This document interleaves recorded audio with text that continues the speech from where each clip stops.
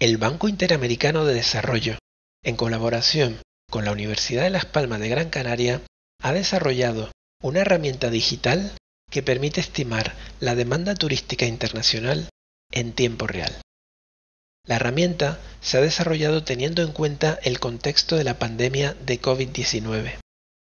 La base de la estimación recae en la construcción de la serie de turistas que hubieran viajado de no haber existido la pandemia.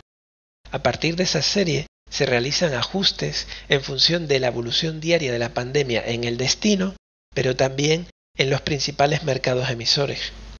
También tiene en cuenta la variación de la confianza en viajar y por último tiene en cuenta la variación en la renta.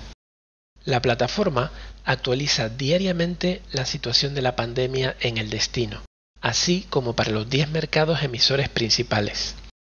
A través de un modelo epidemiológico estima la evolución esperada del número de personas contagiadas. Uno de los parámetros clave es la beta. La beta está muy relacionada con la probabilidad de que un contagiado contagie a otra persona en un día. Esta probabilidad se actualiza automáticamente a lo largo del tiempo en función de las medidas adoptadas de prevención, la vacunación, la estación del año o la aparición de nuevas cepas.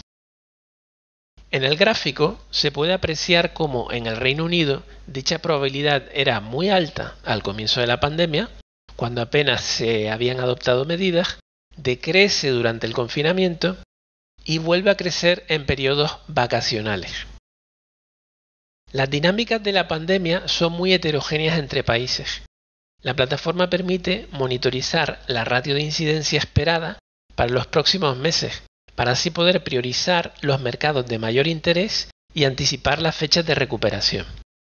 En el gráfico se puede observar cómo Estados Unidos es el país con mayor grado de incidencia relativa, así como el país que se espera que tarde más tiempo en recuperarse.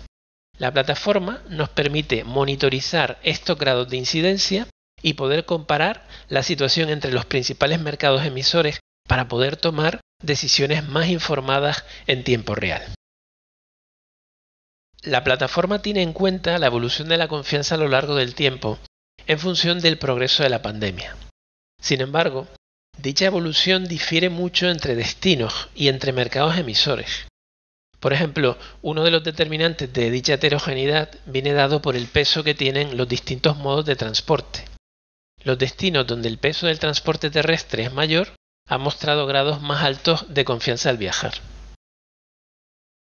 La pandemia ha generado desajustes importantes en la actividad económica y en el empleo, generando una caída importante de la renta y una recuperación parcial de la misma.